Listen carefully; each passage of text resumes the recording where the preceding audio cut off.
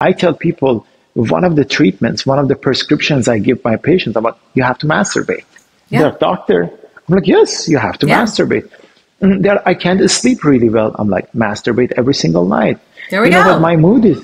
My mood is low. Masturbate. Oh, around noon I feel this. I'm like, masturbate around noon. Around noon. I'm like, listen.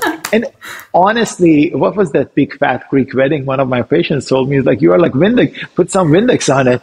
You are like that guy. Welcome to Cliterology, intelligent information about women's sexual health from leading experts in the field. I'm Jacqueline Buckingham founder of the Women's Intimate and Sexual Health Foundation, CEO of Huge Pussy, the activist brand changing the meaning of pussy, and your host. Every week, I bring you the top physicians, plastic surgeons, sex therapists, gynecologists, psychologists, our nation's chief cliterologists, and the most renowned medical experts and thought leaders in the field of women's sexual health. We'll also talk about intimacy and how to have your best sex life, because we know sexual health is connected to mental health and longevity. Having intelligent information means a better life for us all. But women's sexual health has some catching up to do. So it's time to tap into your huge pussy energy and get ready for class because learning about women's sexual health is healthcare. Welcome to your new favorite subject. This is cliterology.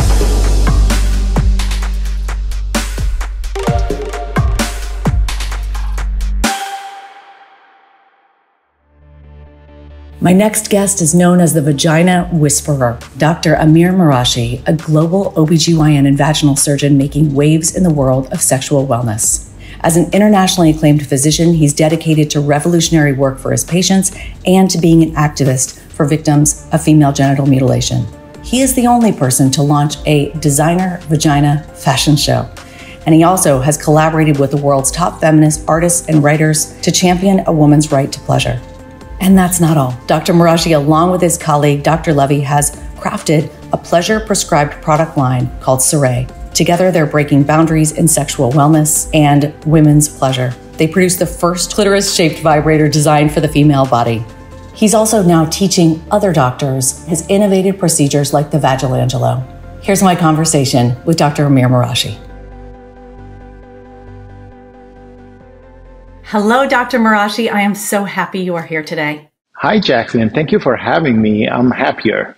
Love to start with your background and how you got to be known as the Vagina Whisperer to people around the entire world. You know, I, I grew up in a family of uh, physicians. My father is a physician, and I lived with him in the hospital. I mean, lived with my family in a hospital since I was uh, three, four years old. So don't remember anything else, and I didn't know any other job to do. So I had to become a doctor. Yeah. Um, back then, it was in the middle of the war that we had. Uh, it was Iran-Iraq war. Right. So my father used to take care of the casualties of the war, and they would just roll them in in a dump truck, uh, like literally dumped them in front of the hospital. And as a kid who loves his dad, I was just following my dad all the time. So initially, I was in charge of you know, carrying white sheets to cover faces of people who are deceased so they can pay attention to the ones who are alive. And then slowly I learned to check pulses and do more and help them triaging the patient. So finished high school when I was 15, went to medical school, 15 and a half, 15, finished it in when I was 22 years old and then left the country. Um, I was doing surgeries during medical school before them. I did a lot of hymenoplasties back okay. in Iran. You know, my friends knew I know my, uh, you know, way around surgeries and I have access to operating rooms. So they would come to me if, uh, their girlfriend or somebody or they wanted to get married and they're like, well, you know, I have to be a virgin or I can get in you know, big trouble. You know, the double standard, you know, Jacqueline. Yeah. It's, uh, you see the, the guys can do whatever they want to do. They have hundreds of girlfriends. They have sex with anybody they want to. And then when they get married, you have to be a virgin. Right. And I didn't have any problem, you know, helping these girls lie to them because, yeah. you know, it's first of all is to save their lives. Sure. And I didn't think anywhere else but back in Iran or, you know, some third world countries would have that problem until I came to England and then I came to US right. and I saw that you know the difference of the way that men and women are being treated yeah. is global it's it's not just Iran you know you may not care about being a virgin here but still there is like all that you know, shaming that, oh, she's a whore if they see her having like two boyfriends or if she's posting something on Instagram. It is a very gender biased word. And because of that, I wanted to be a part of this change in my practice in gynecology. Um, you know, my first practice was in Brooklyn. Still, I go there still to do surgeries, and I dealt with a lot of patients who were victims of female genital mutilation. Yeah. I realized, well, the problem is not hymen here. The problem is something else. They want to make these women into baby making factories. They cut the clitoris, the glans of the clitoris or whatever of it that they can cut and they like literally t- turn them into a baby making factory they shouldn't enjoy you know life they shouldn't enjoy sex. And I, I felt like this is my calling and i want to do more and more. So the book was helpful to kind of raise awareness about that. The brand i started everything i'm doing i'm trying to take the taboo away from you know this whole situation because there, there's no problem about female pleasure. There's nothing wrong with it. And those of us who you know may not know as much about sharia law in places like iran where you're from for a woman not to bleed on the first night she must be dirty or used or and and as as we know that can result not only in torture but in death. But then as you know having your hymen can can rupture from going on a bike ride. And so how does that factor into how things are today? Even the countries that uh, you know practice female genital mutilation, yeah, they've come a long way. They they are they have doing less and less and there are so many organizations one of them uh, we are actually getting involved with uh, the orchid project they are what they are doing. They are not about let's go help these people who got the FGM. What they are doing, they try to prevent it, you know, educate families that, you know what, this is not necessary. And some of these families started doing less and less. But what I mean is that they used to cut let's say a big part and they would cut the labia minora and everything. Now what they do they just cut a little bit of the clitoris which is it's still really bad but it's it's hard it's really hard to to you know applaud that but i understand that it can be baby steps in some cultures but it's still in its in its essence what it's about is you know whether it's tradition or or not and however many years it's gone back in time it's still about women don't deserve to feel pleasure Exactly. It's harrowing, but I love what you're doing. And I love the background that you come to this work with because you have seen it in such a different perspective than, let's say, if you were, you know, from Texas, where you are now, uh, where I'm from, and didn't have that knowledge, didn't have that experience. And from the book, you can tell that this is where so much of your passion comes from. And it is so genuine, which is why I'm so happy that you're here. I'm so happy that you are practicing and doing what you're doing and serving women in the way that you do. And so, how do you practice now? Who do you serve now? I love doing nonprofit work. I've been to Afghanistan. I go to Haiti. I actually have a nonprofit. I go to Haiti since earthquake. I've gone over 10 times. I do all of these, but of course, uh, what's important, you need to bring more attention to what's going on here because I'm just one person. So that's what I've been trying to do through doing things like we are talking to each other right now. Yeah. And I feel like this is a lot more powerful than one surgery that I do. That surgery does a lot, but hopefully this podcast is going to inform hundreds of people who are going to talk to another hundreds of people. And I feel like these are really the groundwork that we should all be doing. And I'm so thankful for what you are doing. So I dedicate a lot of work to doing this. I started, you know, people laughed at it first. They said, listen, you're either going to lose your medical license for this or it's going to be really good. So I did the first designer vagina fashion show in New York City. Yes. And the name was very loud, and people say, "Oh, he's doing a fashion show." It, it wasn't a fashion show. People walking naked or right. anything like of that. Course. You know, it, but it, it actually attracted the press. So the press came. Oh, first designer Regina fashion show. They all showed up. They had over 150 articles within the first 24 hours written. Uh, back then, uh, Trump was running, and he was always like the top headline on New York Post was the most viewed. For three days, we were more viewed than Trump articles, which was great. Amazing. so it brought a lot of attention and I'm, I'm glad that we did that. The way we did yeah. it it was really patients who came and they talked about their experiences. They said how uh, you know this changed their lives. And this is not just you know fixing fgm patients. Of course that's uh, one of the things that's really close to my heart and i do that.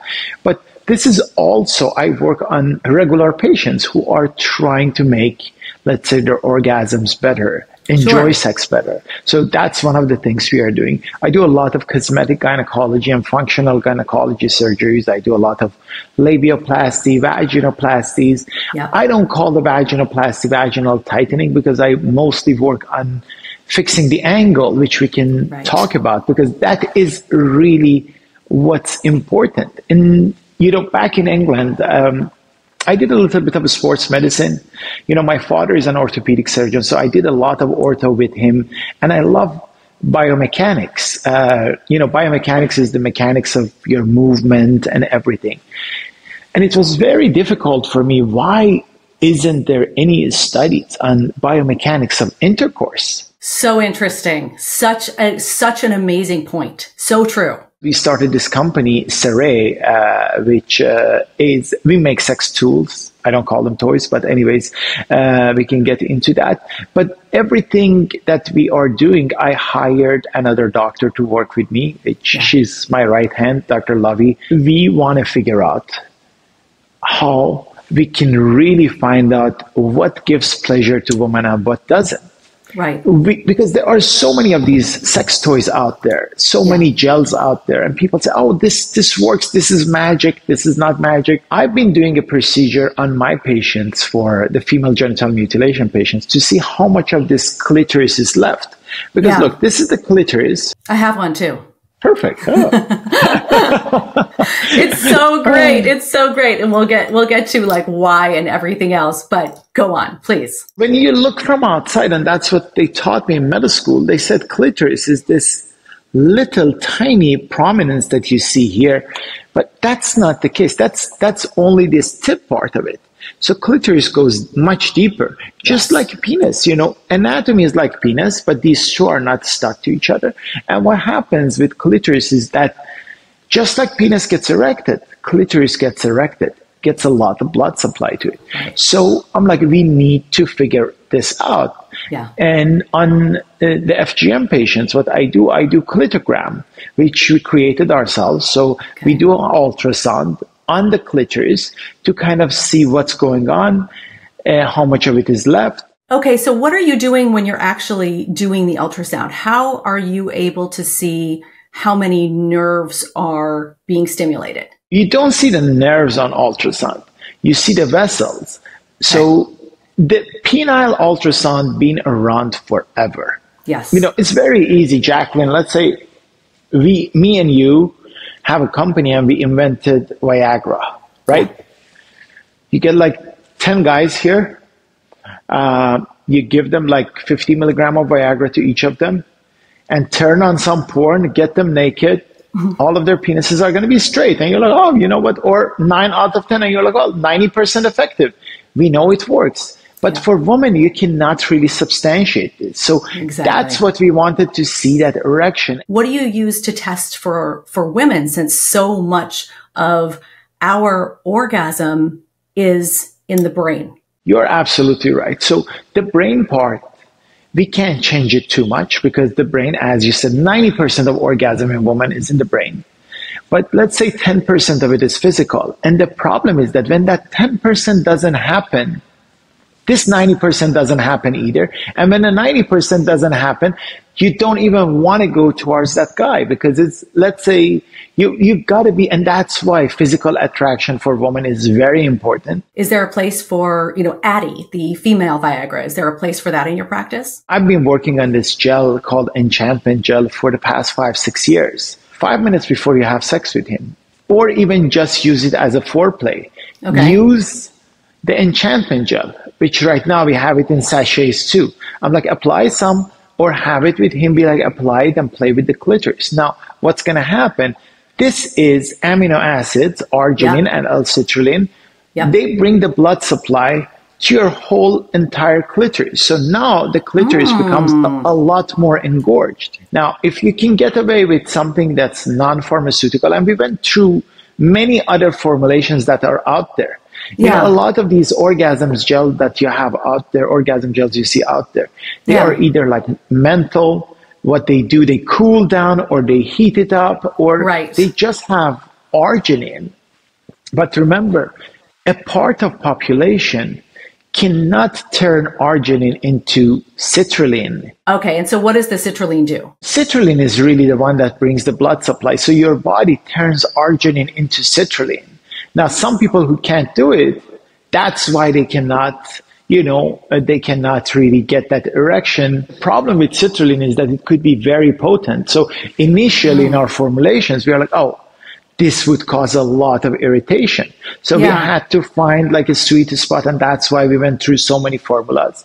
And then because two physicians kind of developed this. We yeah. had to make sure there are different things that none of the gels that you see out there. I'm not here to sell the gel, by the way, but uh, we got the Beacon Awards uh, for you know for the same reason. We made sure is pH friendly with the vagina, so it's the same pH of your vagina. Doesn't give you yeast infection. Doesn't give you bacteria. Does it have the effect of when I use it? Does it lose efficacy if I keep on using it? It's always going to be effective. It's okay. not going to lose efficacy. I mean, okay. look, we have a refractory period for men, which means that mm-hmm. a guy cannot get, you know, erection after he just ejaculated for a while. Yes. For women, uh, that refractory period doesn't exist. It's really like close to zero. So that's why people can get multiple orgasms. So for women, this is very helpful. And by the way, a lot of guys use it too, and they it increases blood supply. Okay, I mean, so it's fine for them. You can put it on the penis, no problem. Oh, 100%, 100%. Okay, great.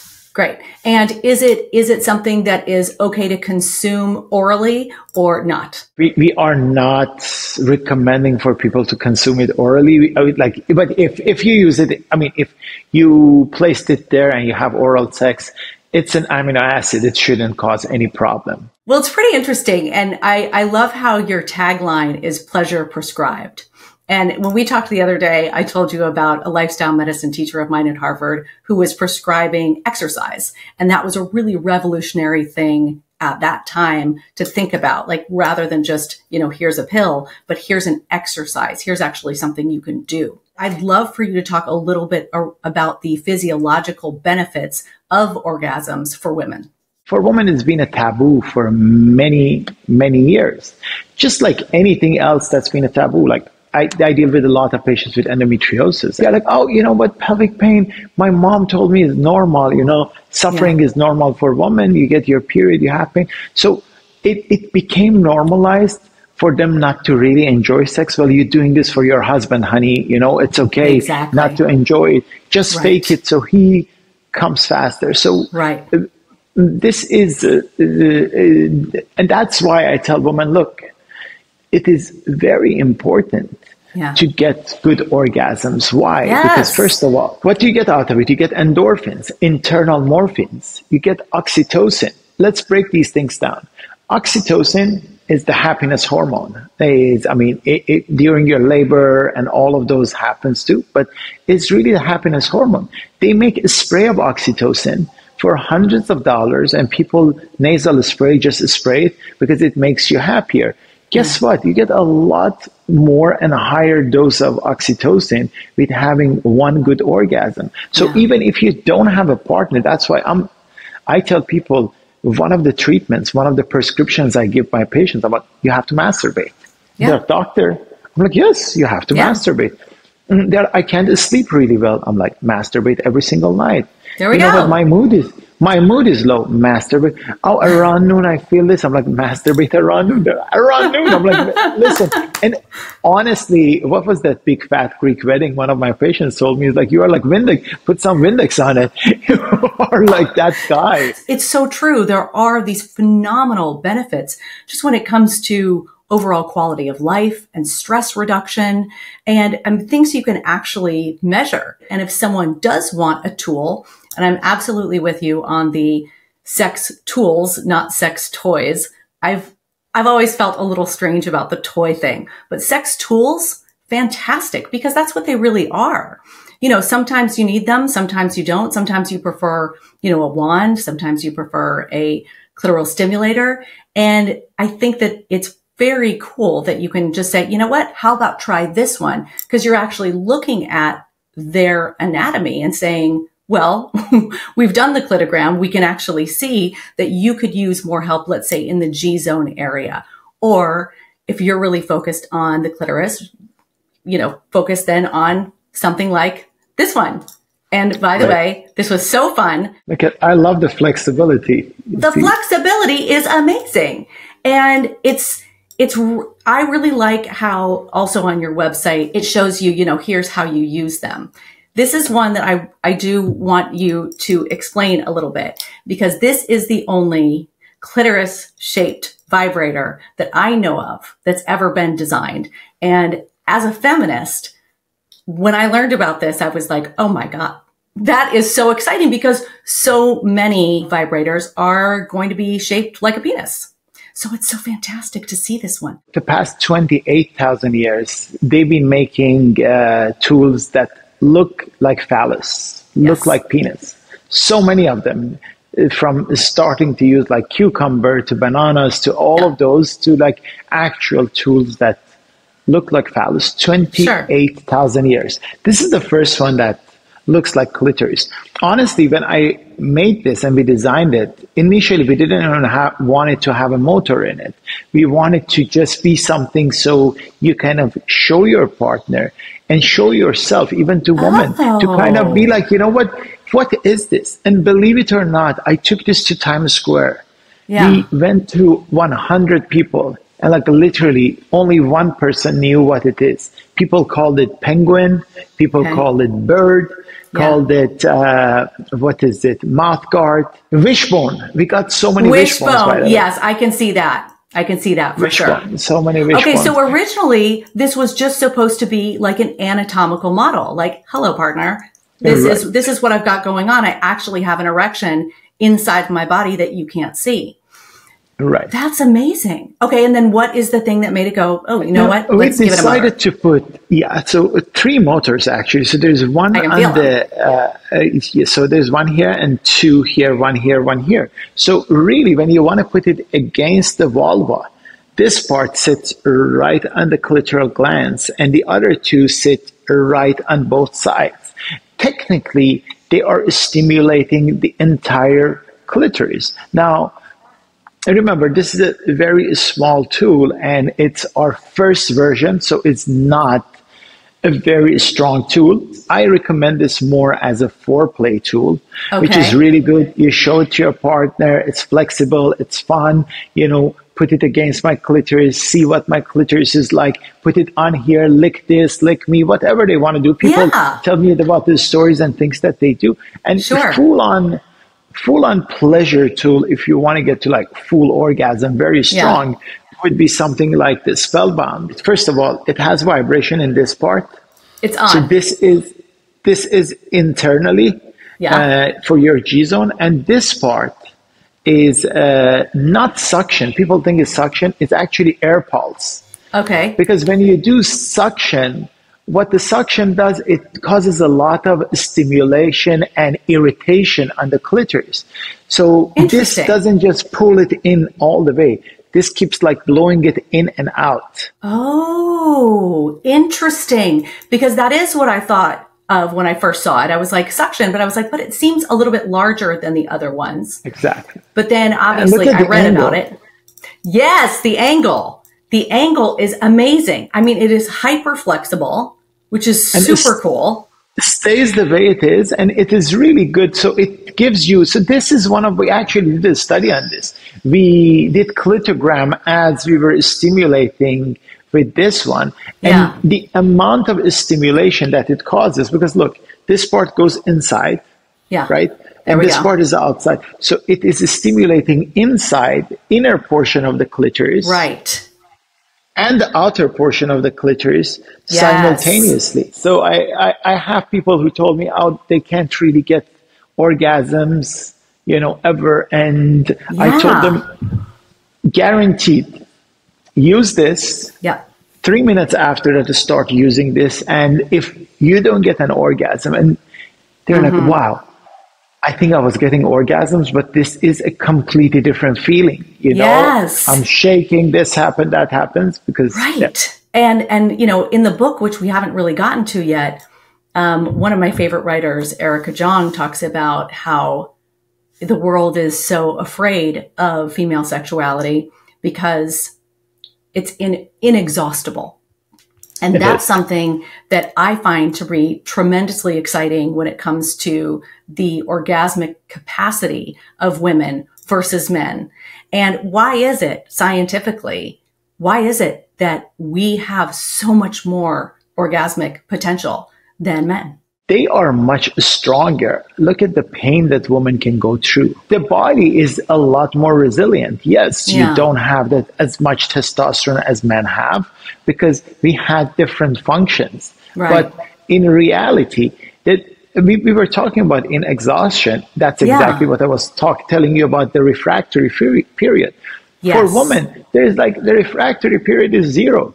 For the guy, he had sex once. He's like, why are we inexhaustible? What is it that makes our orgasm so much stronger, so much more complex?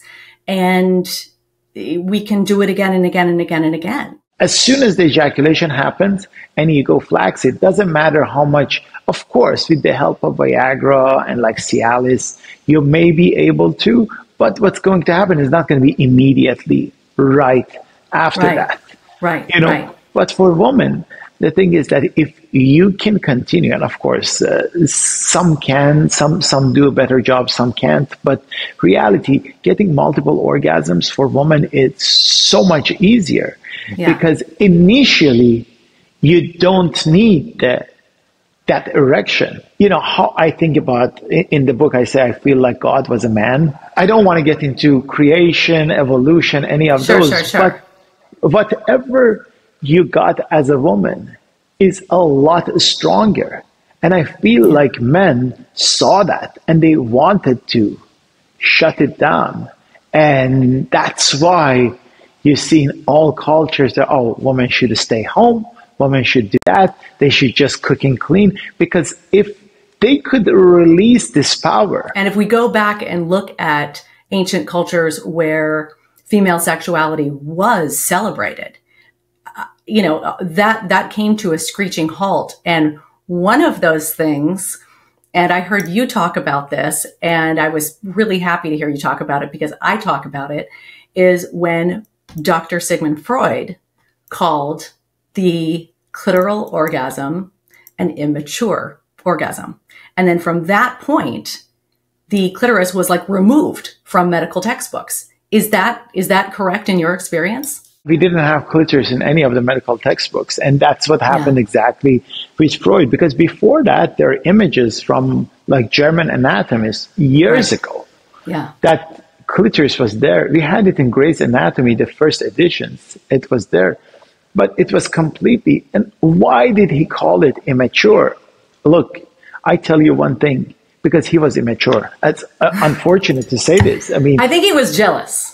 I think yeah. he was jealous. I think he was like, I don't have one of these. I want one. Therefore, I'm going to, you know, make it like something that is like, you know, kind of uncool. And that's what he did. Only until recently that you see there are like heads of departments in medicine could be like women. Even right now, there aren't too many women as they still call it like chairman. Oh, chairman of department of gynecology In, Exactly. Why don't, oh, even if they're a woman, they're like, oh, who's the chairman? Oh, Exactly. uh, Dr. Sarah something. Uh, well, uh, call it the chairwoman, you know? I think the more we talk about these things and the more awareness we have of the gap, the more we can actually do something about it. And so if we are the microcosm of the macrocosm, and I said, you know what, I am going to lessen the orgasm gap today by using this 40 times, then, you know, so be it. It's, it's, it may be something small, but it actually adds up. And I think the more entitled we are to pleasure as women, the more we give permission to our friends, to our sisters, to our mothers, the more we talk about it, the more we actually make it not so taboo. Something that you, you know, talked about is cosmetic gynecology being functional. And I think cosmetic gynecology has a little bit of that stigma around it. Like, oh, I see, you know, just kind of like breast implants, right? From many years ago. Oh, wow, you're going to go get that or, or you're going to, you know, they're almost like a misogynistic, you know, factor about it. When really what I've learned is that so much of it is around functionality. And that's where the angle comes in. It's all about the angle. And most people don't know this, um, that, that some people are going in for, for vaginoplasties or labiaplasties because things aren't working. Things aren't functioning. And yet we've been so conditioned to suffer in silence that, that we'd almost like not go to someone like you, even though you're an expert in this, because we think, oh no, that is like asking too much. Talk about the functionality part. Talk about the angle. I tell people we all start like a plum and we end up becoming like a prune. You know, we lose water, we lose collagen, we lose a lot of fat. And in Yeah. our faces, you know, I start from here. In our faces, after age of 35, we are losing five grams of fat every single year. So the same thing happens with the angle of the vagina. So if Yeah. you look at the vagina from the side, it's not a flat organ. So it's not that the penis goes in like this. No. Vagina is like a down, has a downward angle. That's the normal angle of the vagina. And I use this all the time. So this is the entrance of the vagina. It goes down like this. Why? Because the clitoris that's sitting right on top of the vagina, right? So this is the glans part of it that gets stimulated. And then the internal part, the front wall of the vagina is very sensitive because it's sitting right underneath the clitoris. And they have that 12,000 nerves, 10,000 nerves that you are talking about. They all sitting in the front wall of the vagina. So Right. when we say vaginal orgasm or clitoral orgasm, it's really all clitoral orgasm. But it's the internal part of the clitoris that you don't see and you were not talking about it. And that's why I don't call it even a G spot. I say, you know, it's the G zone. It's so the it's zone. the entire, it's the zone. So Yeah. that's why when the angle is downwards, which is the right angle, Yeah. and that's what we were born with, and the penis enters, it hits the front wall of the vagina, Right. So it hits the front wall of the vagina and Yeah. it stimulates that. So Yeah. what happens with aging as we age, this angle becomes flat. Hmm. Now you are having sex and it doesn't really it rubs against Yeah. all different walls but it does not rub against the front wall as much as it used to it Okay. used to And be why like is this that? Why is it? Why is the angle changing with age? you see this is the entrance of the vagina Yeah. there is a l- tissue underneath here between anus and uh, vagina which is called perineal body it's Right. built of collagen and a lot of connective tissue as we age that becomes thinner as we have kids that becomes thinner. So the entrance comes lower right? So the Ah. entrance used to be anus was here the entrance was here there was a lot of space in between them. Now they are almost close to each other because with every kid we had this is stretched or with just aging this kind of dropped just like what i told you in the face. Over the course of time this happens. And so what does that mean? Does that mean that everybody you know needs to go get this plumped up what does that actually mean for us So not necessarily look different. First of all, by keeping the muscles, pelvic floor muscles strong, you can kind of make up for that. That's why Kegel exercises are Great. really important. Okay. You know, and that's why it's good to do like Pilates, yoga. yeah. keep the pelvic floor strong. I'm not just creating a tight, tight, tight tunnel vagina no. for your partner to enjoy it. Yes, the yeah. partner is gonna, they're like, oh, but we do it and the partners love it. I'm like, yeah, but you want your patients to enjoy it. You know, I created this procedure that uh, Vagilangelo, we actually um, because in New York, uh, my New York office, patients don't have the time to, so many of them, oh, we don't want to have a full on vaginoplasty. So for a while, I was doing a lot of lasers. And I'm like, okay. you know, laser vaginal rejuvenation is not, it's effective, but yeah. it doesn't, it tightens the lining of the vagina. It doesn't really do anything with the muscles. Right. So I came up with like three stitches that we are doing to kind okay. of just fix the angle without taking the ah. patient in the OR. You know, so okay. we don't pay, take the patient to the OR. We do the vaginal oh. procedure as the patient, and that I created it in New York because I'm like, you know, patients would come in and then, oh, can we do it today? Yeah. I'm like, sure. So we started doing really? more and more. So we, we like literally did it in the office, 20 wow. minutes, you're in and out. Okay. So can you get out the model again and just show me where those three stitches are? If you want to do a full on vaginoplasty, what you really do, you're opening the entire area, you go all the way deep to the muscles. Yeah. So for yeah. this one, what you want to do technically, you don't want to go uh, do all of that. You don't make the vagina tighter necessarily. Okay. But what you do, you bring the entrance of the vagina higher mm. uh, from inside. And the level that I'm working at is at the level of uh, your basically hymen that you had before, hymenal ring. All it is, is it just the three stitches or is there another component that no, comes with it? It has another component. So okay. we do the three stitches. So yeah. you are, um, let me show you. So I do the three stitches. So you changing the angle, you bring yeah. it up, yeah. and then I enhance the G zone at the same time too by okay. PRP and exosomes. Now, a lot of people just do PRP. Yeah. I like to add exosomes to it because it makes it a lot more potent. What are exosomes? I believe exosomes are one of the most potent anti aging agents out there. Yeah. Mm, that don't break the bank. Of course, if you can afford it, uh, you can go all the way for stem cells. And that's what you know, some of my patients, my basketball wives, and like people who want to say, oh, you know what, I want to do the best. Well, what, you know what, we can extract the stem cells and sure. do A, B, C, D. But just the lab procedure and all of that part of it is going to be like ten thousand dollar on its own. And some of Absolutely. them say, oh, you know what? You've got to extract the fat and then you've got to spin it. So basically, you're doing exactly. like a mini liposuction, and so it's it's a lot more involved. It's a lot more involved. So, yeah. but for okay. exosomes, our cells especially when we are, let, us say, when we are a fetus or when yeah. we are very young, and even at this age. But the younger we are, they have more of these. They talk to each other. They communicate with each other. And that's how they stay young. They tell each other what to do, yes. you know, to make new cells, make new like vessels, make new nerves, all of those. And they talk to those little vesicles. And now you can extract those from different ways. I mean, you can get them from umbilical cord, you can get them from placenta. There are okay. different ways depending on what company you are getting them from, and right. they go by by billions. So you can get like 5 billion. They usually come in increments of 5, so 5 billion, 10 billion, 25 billion, all of those. Okay. So I I add between 5 to uh, 10, 10 billion of exosomes with a good 10 to 15 cc's of PRP and okay. that yeah. is that is very potent. And we injected a lot of these patients, we inject just, you know, in the vagina and then we do on labia uh, majora as well. You know, these two okay. areas. Okay. People who have like a lot of wrinkles and say, oh, I want a fat transplant. I'm like, don't oh. get a fat transfer. Just we inject it underneath the skin and we do it a couple of times. Oh. They feel so much better.